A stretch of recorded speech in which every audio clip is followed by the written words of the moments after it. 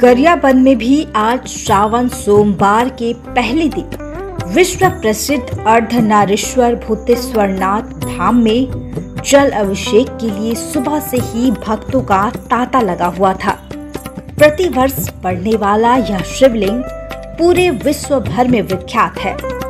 ऐसे में सावन के इस पावन अवसर पर दूसरे राज्य से भी श्रद्धालु जल अभिषेक के लिए पहुँचते थे।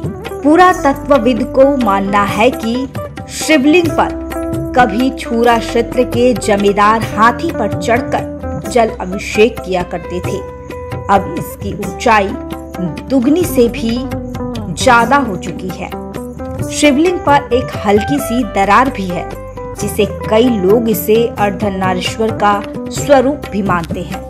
भूतेश्वर महादेव की ऊंचाई विवरण उन्नीस सौ बावन में प्रकाशित कल्याण तीर्थाक के पृष्ठ क्रमांक 408 पर मिलता है, जहाँ इसकी ऊंचाई 35 फीट और व्यास 150 फीट उल्लेखित है 1978 में इसकी ऊंचाई 40 फीट बताई गई। उन्नीस सौ सतासी में 55 फीट और उन्नीस सौ चौरानवे में फिर से थेरोलाइट मशीन से नाप करने पर बासठ फीट और उसका व्यास 290 फीट मिला।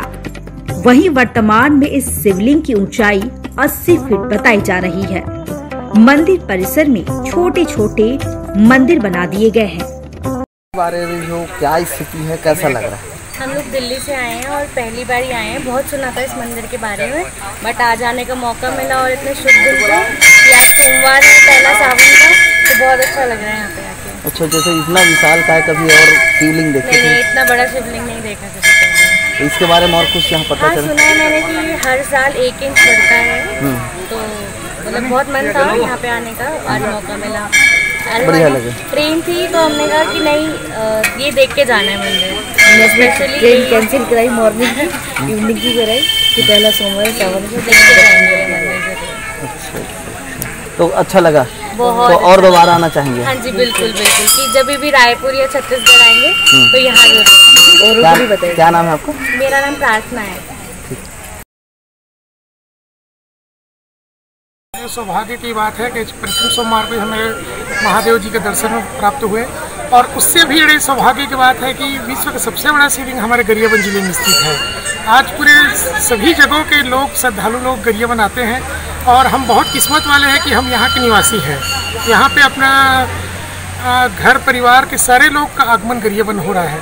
कल संडे के दिन था, पूरे परिवार के सभी लोग का फ़ोन ही वो फ़ोन आ रहा था कि आप गरियाबंद में उपस्थित है कि नहीं है है कि नहीं है, क्योंकि सब के सब श्रद्धालु लोग गरियाबंद की ही और भगवान भोलेनाथ के दर्शन के लिए आए थे। तो इस साल सावन में पहले चार सोमवार प्रति साल आठ सोमवार भक्तों के ज़्यादा समय मिलेगा दर्शन करने का। ये तो भगवान भोलेनाथ की कृपा है सभी भक्तों के ऊपर कि पहले चार सोमवार तक ही समय मिलता था इस बार आठ सोमवार तक का समय मिल रहा है। इससे अच्छा समय बहुत कम मिल पाता है। और आज जैसे पहला सोमवार है कितना भीड़ है? यहाँ तो बहुत ज़्यादा भीड़ है। सुबह से ही ताना ताता लगा हुआ है भक्तों का। और जिस हिसाब से लग रहा है कि ये तो शाम होते तक और बढ़ने वाली है। ठीक। गरियाबंद से जय विलास शर्मा की रिपोर्ट बस देखते रहिए सी डी टीवी।